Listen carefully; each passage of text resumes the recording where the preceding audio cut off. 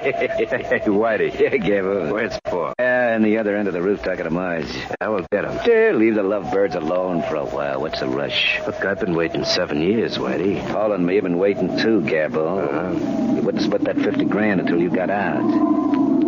That was our agreement, remember? Yeah, sure. Cops grabbed you for the job. We held onto the dough until you got out. Well, we've been holding it. All right, where is it? Well, Paul cashed the dough in for bonds and hit him. Don't worry, they're safe. Who worries? Well, the way you... Wonder where my girlfriend is. Now, she'll be here. Uh-huh. Oh, hey, here comes Marge, Paul's girlfriend. Where's Paul? Well, I thought he was with you. Well, he was until a couple of minutes ago. Maybe he went downstairs. We've been standing here in front of the only exit. Look, boys, I left him just for a couple of minutes to go watch that plane. If he isn't up here, he must have walked down. Well, maybe he jumped. No, Well, he didn't walk down. I'm going to look down into the street. Where are you going, Whitey? Well, I'm going to look on this side of the building. He's not down here. Well, he's not here either. Hey, what goes on? I don't understand this. Paul isn't up here. There's no place for him to hide, and we looked down and couldn't see him. Well, so what? So it means he's disappeared into thin air.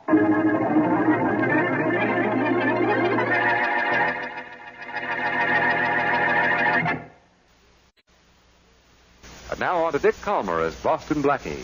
Enemy to those who make him an enemy. Friend to those who have no friend.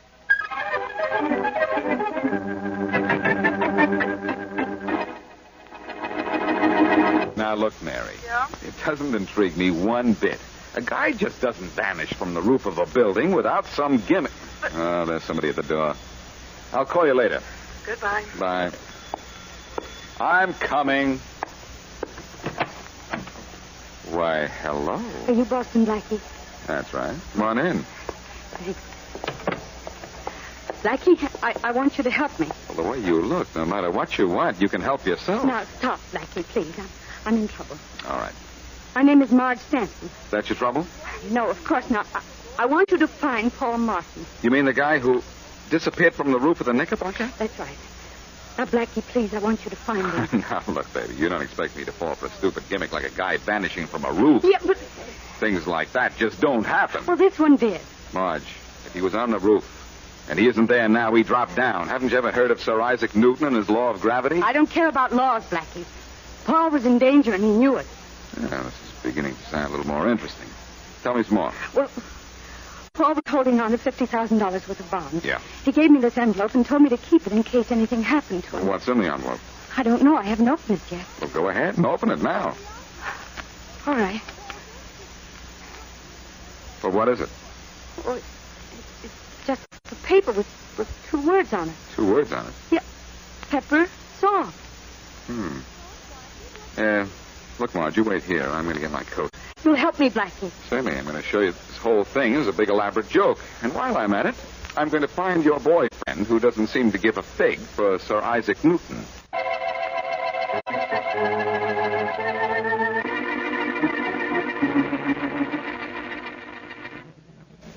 Now, you see, Blackie, Yeah. I was standing over there watching an airplane when Paul disappeared from this room. Uh-huh. And where was Paul standing the last time you saw him? Over there, near the railing. Anybody else up here on the roof? Yes. Two of Paul's gangster friends, Whitey Whittaker and Gabbo Conrad. Well, Conrad, I thought he was doing a stretch for a payroll holdup. He did it. He was released two days ago. Hmm. Well, what are we all doing up here? Well, we were up here getting some air, waiting for Terry Thompson. She's Gabbo's girlfriend. Yeah. And then we were going to do the town.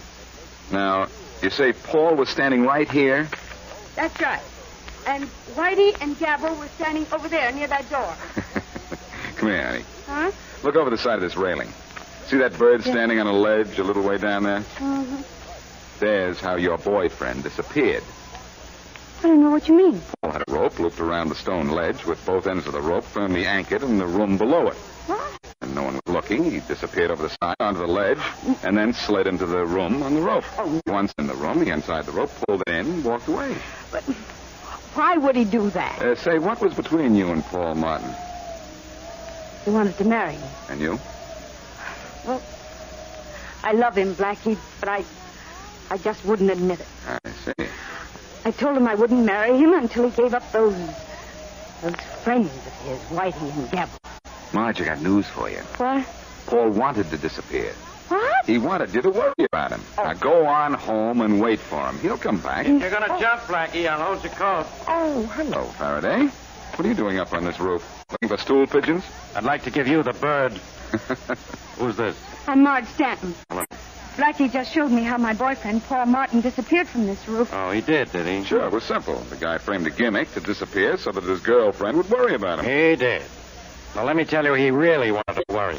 Really? He found Paul Martin lying in a ditch with five bullet holes in him, ten miles from here.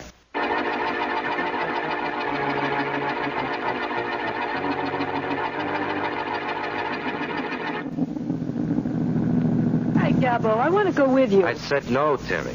When I pick up Whitey, you're getting out and scrambling back to the apartment. Oh, Only the two of us, Whitey and me, are going for those bonds. Now shut up and stop arguing. oh, nuts. I'm sorry, baby. I just don't want you to get hurt. I got great plans for us. Oh, Now, just take it easy, baby. I'm driving. Save it for later, huh? Okay. Hey, you never told me what happened to Paul on that roof. Hmm? How'd you arrange it? Oh, I didn't. Huh? Yeah, it was all his big idea. I arranged what happened to him after. Oh. Well, I don't get the roof thing. Well, he wanted to make his snooty girlfriend worry about him, so he pulled the disappearing act. But how did he do it? Down a rope into a window on the top floor. Just to impress his dame, he disappears? Mm-hmm. Huh. Oh, okay, baby. There's Whitey on the corner. I see him. Now, you go back to the apartment and wait for me. As soon as we get our hands on the dough, we're blowing town. Okay, Gabbo. I'll be waiting.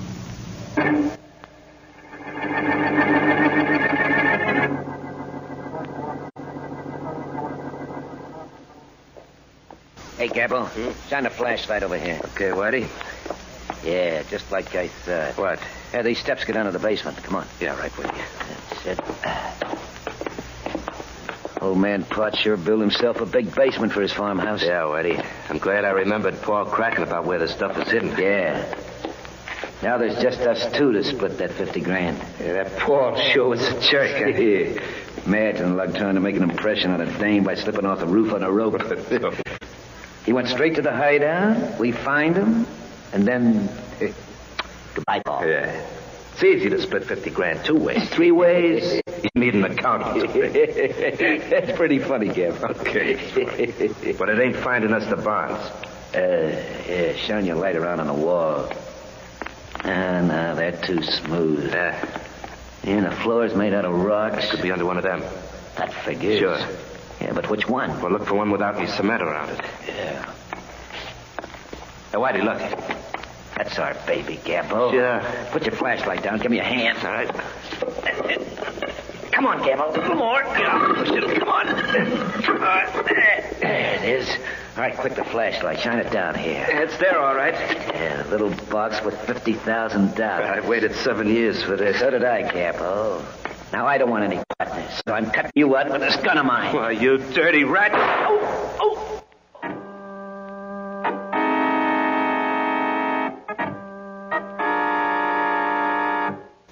Blackie, Whitey, and Gabbo must have killed Paul, but how do we find them? Well, the only clue Paul left is this slip of paper with those two words on it pepper and salt. Yes. Did they mean anything to you? No, Blackie. But, But what? well, it might be the hiding place of those bonds. Well, where did Paul get the bonds? Well, Paul and Whitey and Gabbo were all in on a payroll robbery.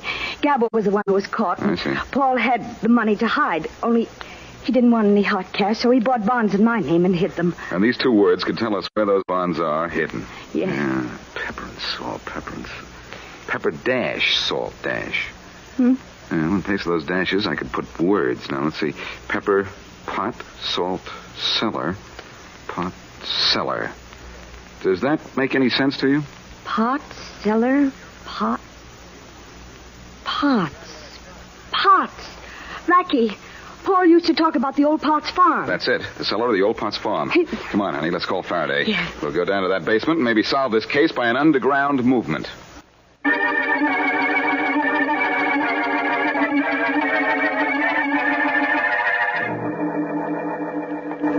These old deserted farmhouses. It's all right, Marge. It's perfectly all right. Faraday is here. Or uh, is that really why you're scared? Yeah, Blackie, you belong on the Potts farm. You're responsible for more corn than the state of Iowa. Watch your step. We're going down the cellar. Blackie, stay close to me. It'll be a pleasure. Okay, mastermind. What do we do now? Something's buried here, and we have to find it. That's what we have Uh, to do. You couldn't manage for it uh, to be you. Inspector, Yeah. will you shine your light over here? Hey, looks like somebody's already been here. Yeah, the stone on the floor's been moved recently.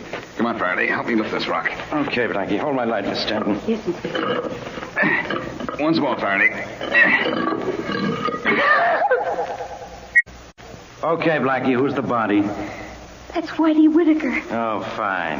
There was supposed to be bonds or something out here that would lead us to Paul Martin's killer. What do I find? A corpse. Take it easy, Faraday. Eh? All this means is that Gabbo got here and killed Whitey. He has the bonds. Okay, then what are we waiting for? Let's get him. Sure, anything you say, but how do you find one guy with $50,000 worth of bonds in a city of a couple of million people?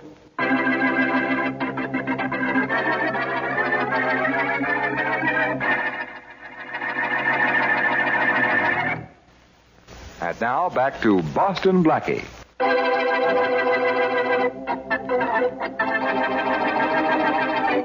Paul Martin disappears from the roof of the Knickerbocker building, only to turn up dead in a ditch miles from where he vanished.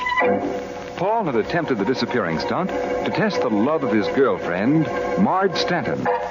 But Gabbo Conrad, an underworld friend who has just finished a seven year term in prison, learns of the stunt and kills Paul. And then kills another accomplice, Whitey Whitaker.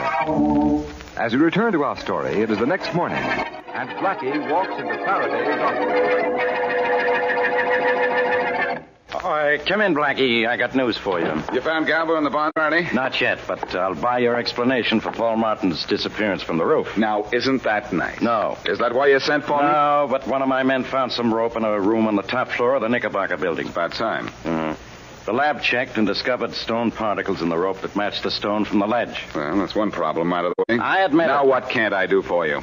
Now, Mastermind, how would you go about finding Gabbo Conrad? I don't know. He's probably out of the city by this time. No, Blackie, I've had every exit covered. This town is tighter than a drum. Where can he be? It seems to me that Gabbo is in your hair. There's no room for the two of you there. A couple of the boys are out checking a lead right now. yeah? Yeah, a stool pigeon came through with the tip that Gabbo has a girlfriend who's been waiting for him, a gal named Terry Thompson. That checks. Why? Marge told me that they were waiting for her up on the roof the day Paul Martin disappeared. Yeah, well, the boys are trying to find her. Good. Maybe if we find her, we find Gabbo. And if you don't, you find yourself out of a job. Oh, Happy hunting, Inspector. I'm going to see Marge Stanton. any special reason? Sure. Maybe between the two of us, we can dream up a way for you to nab Gabbo.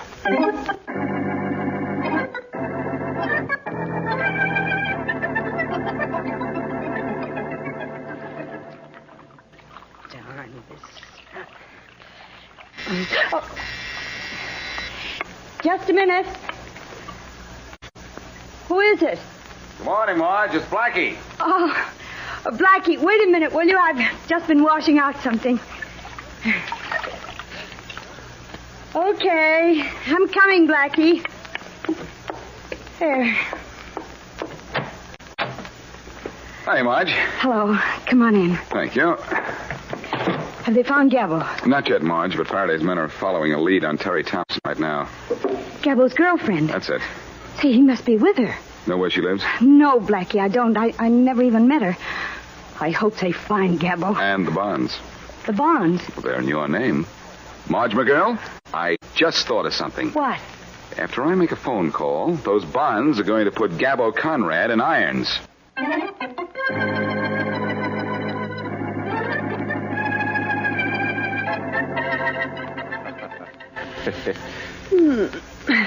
Fifty thousand bucks worth of bonds. Yeah, nice. mhm As soon as we cash them, we're on our way. Can't be too soon for me, Gabbo. Just you and me, Terry, baby. Mm-hmm. Well, seven years I dreamt about this. Me too. I got so I thought I'd never see you. Yeah, it's a good thing Whitey was such a lousy shot or you wouldn't be here. Nah, forget Whitey, baby. I took care of him. But good. Here, come here, give me a kiss. Sure, Gabbo. Hmm. Hey, Huh? hey, look outside. What? There's a patrol car stopping in front of the house. Come on, out the back, through the window. Well, the cops may be back here, too. Nah, those dumb cops think the only way out of here is through the front door. Come on, baby. Help me lift this window. Okay, Gab. Come on, come on, baby. Step on it, cops. Don't stay stupid. I'll go first and catch you coming out. Hurry, Gabbo, oh, hurry. I think I hear him coming down the hall. Take it easy, baby. We're doing fine, just fine. Here I go. Okay, baby, jump. Here goes. Okay, let's go. Yeah. My car's around the corner. I'm with you. Only keep down, Gabbo. Don't worry, I ain't gonna be no target for tonight. Where's your car? Right over there. Oh, yeah, I see it. Come on, Terry, run. Okay, hold it. So far, so good. We clear? Yeah, get in and start the motor. Well, where are you going? Never mind, get in and start the motor. Okay, okay.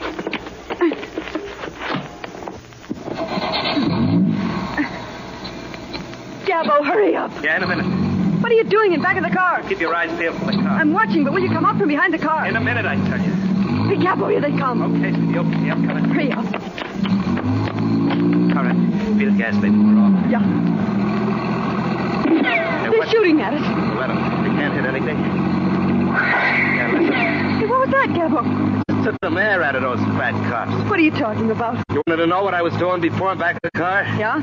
I was spreading broken glass all over the road. Yeah. Sort of a sort of a welcome mat.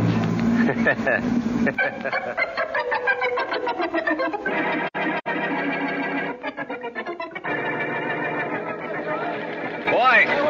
Copy, boy. Yeah, yes, I'll be right over there. Hello, Reynolds. Chuck, this is Blackie. Hiya, Blackie. Hi. Just a minute. Uh, let me close this door so I can talk to you. Okay.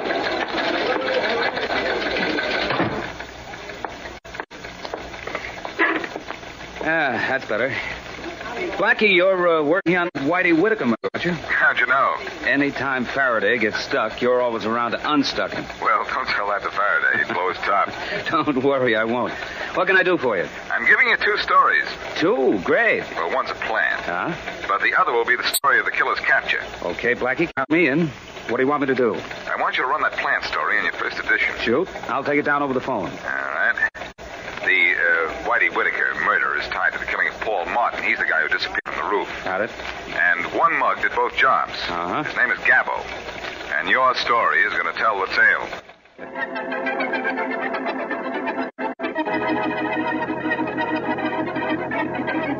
You big lummox. Letting Gabbo Conrad outsmart you. I ought to put you out pounding a beat again. But Inspector Faraday, I told you he threw glass all over the road. Yeah? Well, after he got out of the house, he should have followed. Hello? If you yell any louder, you won't need a phone. Uh, Blackie, what do you want? I'm in Marge Stanton's apartment, and I'm going to catch Gabbo Conrad for you. Uh, thanks. We almost caught him ourselves. All right, mastermind. Let's hear your idea. Well, uh, when Paul Martin bought those bonds, he bought them for his girlfriend, Marge Stanton. They were made out to her, or so she tells me. Those bonds are useless to Gabbo unless he can get Marge to sign them. Hmm. I suppose Gabbo is going to walk right up to her front door and just ask her to sign on the dotted line. That's right, Faraday. Right. Gabbo probably doesn't know about needing her signature. If he did, he'd been after Marge before this. But we're going to tell him. Yeah, how? I just called Chuck Reynolds of the Daily Express. He promised to run a front page story on it in the first edition that should hit the stands in about three hours. Yeah. Then Gabbo will come after Marge and we'll grab him. Blackie, this Gabbo's a two-time killer. Now, I don't want you putting that girl's life in jeopardy. Hold it, Faraday. Gabbo won't know about this for another three hours when the paper comes out. Right. By that time, you'll have posted a double guard around Marge Stanton's apartment house so that the minute Gabbo shows up, you take care of him for a showdown. Well, that sounds okay. Of course, it's okay. It'll work. I'll come down to talk to you about it. Okay, Blackie, so long. Well, Marge, we're all set. Blackie, are you sure it will work? Absolutely sure. Gabbo, if and when he sees the story, he can't possibly be around for another three hours. Yes. Now, can I leave you alone for a while? Well, where are you going? Down to Faraday's office to check the protection that he's going to throw around this building. But how long will you be gone? About an hour, not more. Oh, no. Now, don't worry. When Gabbo comes up to get you to sign over those bonds, we'll take him over the coals.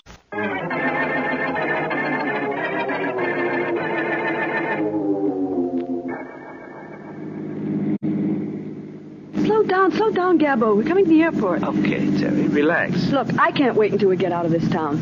But I want to make it in one piece. Don't worry, baby, we will. I've got a private plane shot. Relax, will you? Sure. Turn on the radio.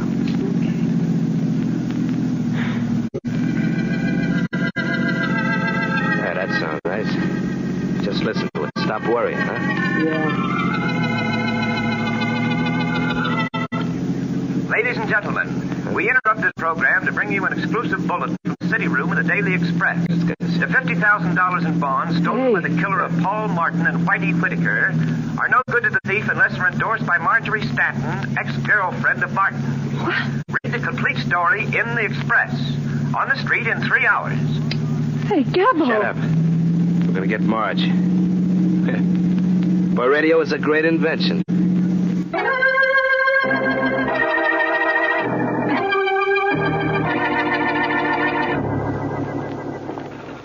A good thing you had the car radio going, Gabbo. Yeah, Terry, that news flash was a lucky break, all right.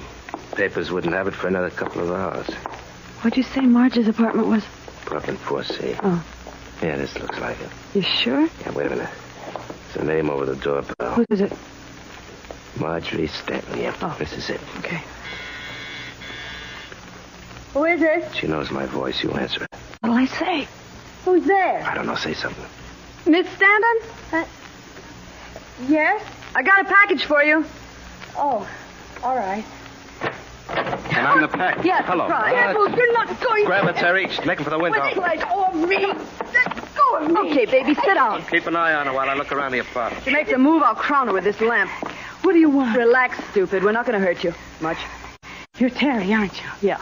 I thought so. You're the babe who thought she was too good for Paul. Let go. Well, Gabbo? Clean as a whistle. Swell. Be here. Now let's get down to business, huh? Here are the bonds, Gabbo. And I've got the fountain pen. Good. Okay, Marge, sign on the dotted line. I told you about that. You weren't supposed to know. Well, uh, you see, Marge, it's like this. We're riding along in our limousine, see, enjoying the sights. I'm planning our future. Yeah, yeah. And listening to some lovely type music over the radio when suddenly some fat announcer says, Ladies and gentlemen, we enter this program to bring you an exclusive bulletin from the city room of the Daily Express. Ain't that the way you started, Terry? Yeah, but you say it much better, Gabbo. Oh, thanks. Well, uh, then he says the bond for which Gabbo Conrad, that's me, see, has already committed two murders. They ain't no good without your signature. So we came here to get it. So, uh, Marge, sign your name on the dotted line. No. Marge, I got no time to fool. Now sign your name here. Not signing a thing until she sees the lawyer. Blackie, you came back. Look how Gabbo's got a gun. Won't get a chance to use it. I'm getting out of here. Oh, no, you're not. You're sitting right here. Good going, Marge. Now I'll finish off this lad. Blackie, oh. Well, that's that. Two down and none to go. Blackie, how'd you get here so fast? I thought you wouldn't be back for another hour. Well, I heard the bulletin over my car radio and realized that Gabbo might do the same thing. Right. So back I came without seeing Faraday. Oh. Say, I think I'd better call him now. He ought to be informed that he just caught a killer, don't you think?